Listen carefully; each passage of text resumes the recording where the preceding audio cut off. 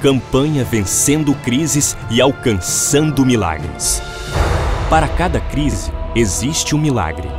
A crise é um machado afundar no rio. O milagre é Deus fazer ele flutuar. A crise é faltar o vinho na festa de casamento.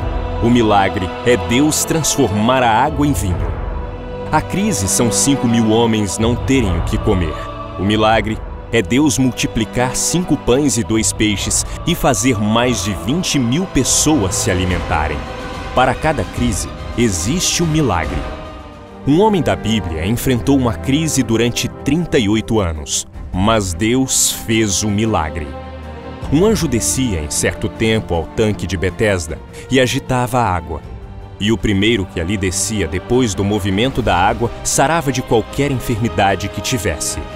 Da mesma forma que as águas eram agitadas e a crise era resolvida, no dia 12 de agosto você trará seu pedido e ele vai estar sendo mergulhado nas águas do tanque de Betesda através do pastor Flamarion. E milagres vão acontecer.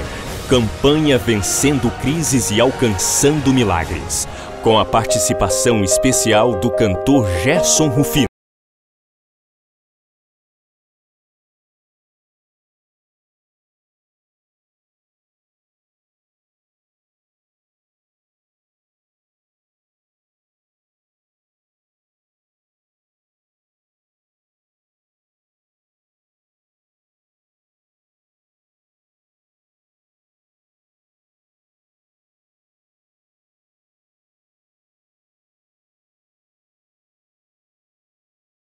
Quarta-feira, às nove da manhã, três da tarde e sete e meia da noite, na primeira igreja do Evangelho Quadrangular, Avenida Brasil 3897, Centro.